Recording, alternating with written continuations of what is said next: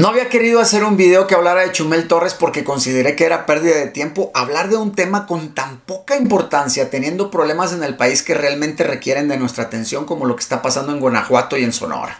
Hasta hoy, que me tomé el tiempo de ver uno de sus videos en donde habla del problema que tuvo por hacer comentarios en contra del hijo del presidente. Pues, ¿qué esperabas, Chumel?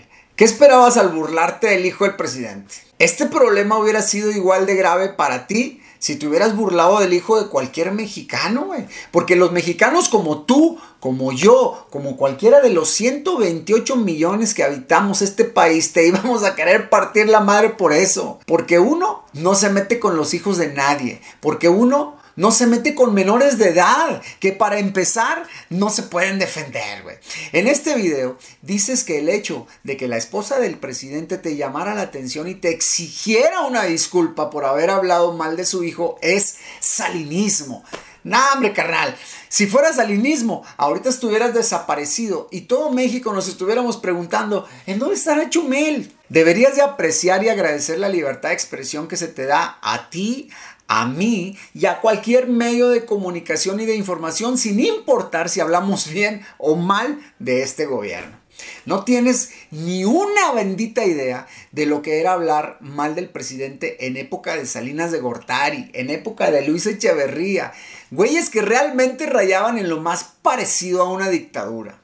Hoy en día estamos en la gloria, podemos hablar de lo que nos dé la gana y burlarnos de quien nos dé la gana sin tener ni una sola consecuencia. No entiendo por qué te haces la víctima, por qué dices que el gobierno te está callando. Una llamada de atención de una mamá a la que ofendiste a su hijo no es callarte, güey, es regañarte. Pero lo hubiera hecho cualquier mamá, solo que a esta sí le tenías que responder. Yo te admiro mucho, carnal. Pero a veces creo que si te pasas de lanza con tus comentarios, con tu irreverencia, con tu actitud de vale madres. Pero no se puede ir por la vida afectando a personas pensando que nadie se va a quejar de tus palabras.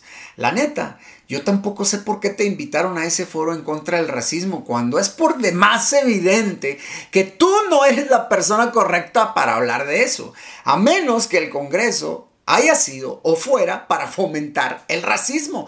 En tu video, tú mismo haces comentarios racistas para con tu propia familia, güey, llamándolos morenos. No puedo creer que alguien se fije en el color de la piel de su familia y diga que los va a defender si alguien los llama morenos.